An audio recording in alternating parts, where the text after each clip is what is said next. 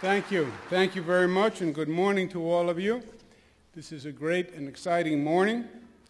We're all very happy, and we will all happy on your behalf, uh, smile on your behalf, we want you to know.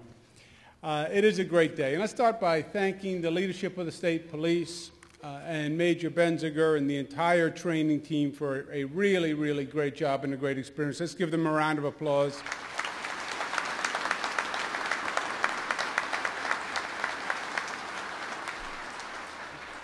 And let's thank the support network that surrounded these graduates, these new troopers, the mothers, the fathers, the wives, the husbands, the children who provided support through a difficult period and a few difficult months, and I'm sure there were many days when the recruits came home and, and maybe even suggested that what they were going through was more difficult than they had expected, and there was a support network for them there and a support network that will carry them forward. Congratulations to all of you. Let's give them a round of applause.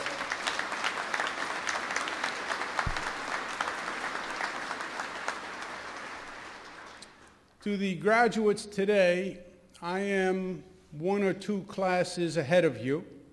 I've been governor for about 22 months now. I was in a very small class.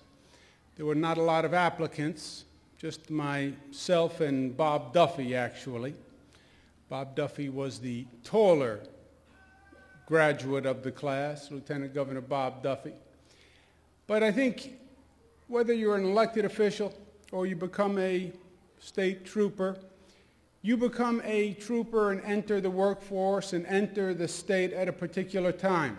And depending on that time, there are different issues that are going on. If you had become a state trooper in the 60s, there was a major issue with anti-war movements and demonstrations. If you'd become a trooper in the 80s, there was a terrible crack epidemic that was sweeping across the entire state, urban areas in particular, and posed a challenge. If you had become a trooper about 10 years ago, it would have been right in the aftermath of 9-11 and the trauma of 9-11.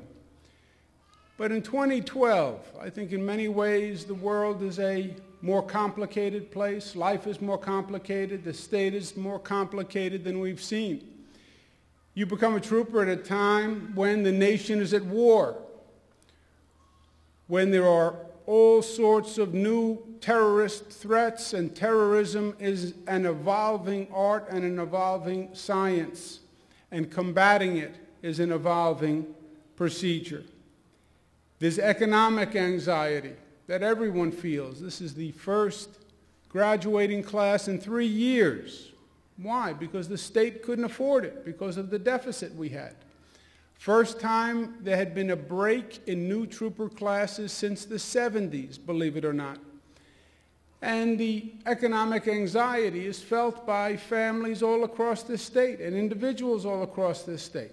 And it increases the anxiety level of people and the way they behave and the way they act is affected by that anxiety. Compounding this problem in many ways, there's been a loss of trust in government institutions in particular, but institutions by and large. There's been a loss of trust in New York State government. New York State government has had some issues in recent years that it hadn't had in the past. And all of this goes into the world that you're going to step into and the world that you will need to chart a course through. And I think it's important that you view the landscape, you get your priorities right, you get your perspective right, you set your course, and you find your true north in life. Everyone has a true north. When I was running for governor about two years ago, I was in the middle of a particularly confusing period. Campaigns can get very contentious and get very confused. And there was one day when I really needed to sit down and get a sense of my bearings and what's it all about and, and why do I want to be governor and what is the situation of the state. So I sat down at my desk and I started to write a few words. And I wound up with just three or four words that wound up meaning everything for me and my direction in public service. And I put a circle around the words, and I said, if I ever become governor, I'm going to create a pin that has these words. Because for me, it said it all. I became governor, and I made a little pin, and I wear the pin every day, and I've given it to everyone who comes to work in the state government and my administration, and I'll give the pin to every one of you today as my gift. And the pin is very simple. On the bottom of the pin, it says, I work for the people. I work for the people. Why? Because that is the bottom line. That's why it's the bottom line on the pin. You work for the people. There's going to be a lot of people with a lot of opinions. Newspapers have opinions. Columnists have opinions. Lawyers have opinions. Mayors have opinions. Advocacy groups have opinions. A lot of people have opinions. But you don't work for them. You work for the people. You will inevitably run against people who say, well, you work for me. I pay your salary because I pay my taxes. I run into them on the average of five times a week, so I am sure that you will run into them occasionally, just as a test to see if you can keep the same face that you're keeping now when, when that person says that to you. But you don't work for any one person. You work for the people, the people, meaning the collective, the community of New York, the concept of the people not an individual. And if you are working for the people and you are delivering for the people, that is true north. That is where you are supposed to be, and nothing else matters. On the top of the pin, there are three words. The first word is performance. Why? Because you have been trained, you have been selected, you will be engaged to perform a task. What do the people of the state of New York expect from you? They expect performance. They expect you to do your job. And your job is a very important job. And your job can make the difference between life and death for a person. My job is not that important. Difference for me is taxes go up or taxes go down. If I perform or don't perform. For you, the odds are much, much higher. And I believe you enter a workforce, you enter the state when the job of being a police officer is more important than it's ever been and more complicated than it's ever been. There are many skills that you need today. Fighting terrorism, cybersecurity is an issue that you didn't have 20 years ago. Biological issues that you didn't have 20 years ago. First responder issues, one of the greatest challenges we've had in the past 22 months in this state are weather patterns that defy usual reality, storms, ice storms, floods, really some of the greatest challenges. And we have not had to deal with that at this frequency before. That's your performance. And implicit in the concept of performance is not just to do the job, but to do the job better than the job has ever been done before. The state police are not just a police force. They want to be the best police force in the United States. And your goal is not just to be a trooper, but to be the best of the 4,400 troopers that are serving the state of New York. That's what performance means. The second word is integrity.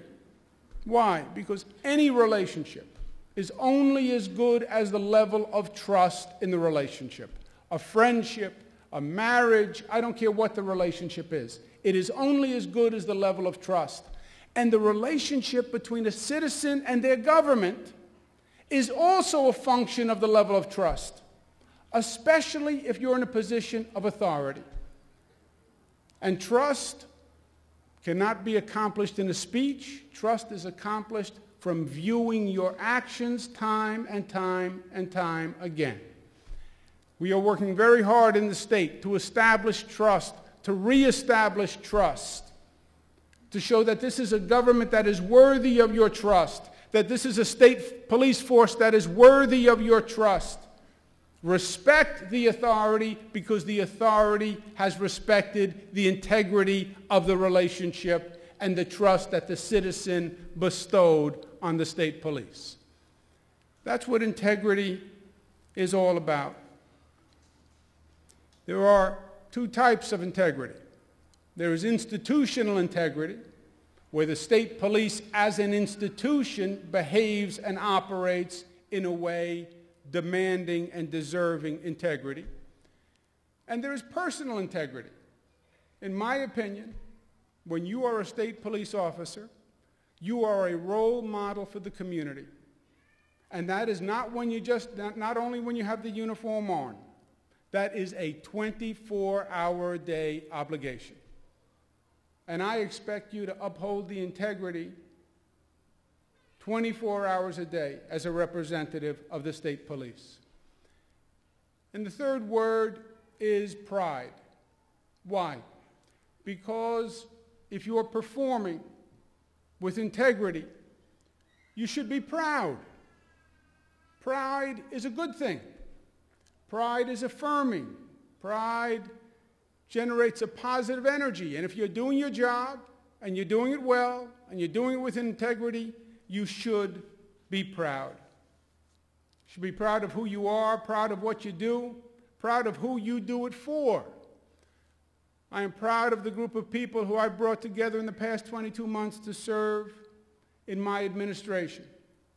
I am proud of the job that Superintendent Joseph D'Amico is doing. He's done great work with the New York State Police over the past two years, and they've made great, great strides. I'm proud of Major Steve Nevins, who's taken over the governor's detail, which was often and for long a troubled detail, and he has cleaned it up, and it is going amazingly well. I'm proud of the tradition of the state police. I'm proud of the uniform you wear, purple tie from the Praetorian Guard, an elite Roman unit, the gray uniforms hearkening back to the black and the white of justice and the impartiality. The black stripe down the trousers, remembering the fallen comrades and people who have paid the ultimate price. I'm proud of that tradition. I'm proud of the job you do. I'm proud of the state of New York, which is the greatest state in this country far and away. And I am proud in each and every one of you because you are a self-selecting group and you have proven yourself to be brave, and you've proven yourself to be strong, and you've proven yourself to be smart, and you've proven yourself to care about other people and care about community. That's why you're here today. With your help, we're going to make this state, this great state of New York, an even better state. It's my honor to join with you today. Thank you and God bless you.